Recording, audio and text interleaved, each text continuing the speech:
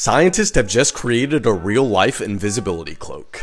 Harry Potter's invisibility cloak may have just become a reality, as a Canadian company has invented quantum stealth material which can make objects appear as if they're invisible to the naked eye. This inexpensive and paper-thin technology works by bending light around an object to make it appear as if it's in a different location or vanish completely, leaving only the background visible.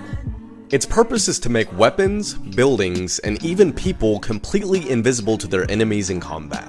But unfortunately, the cloak is meant for military purposes only, so normal people like you or me probably won't be able to get our hands on it.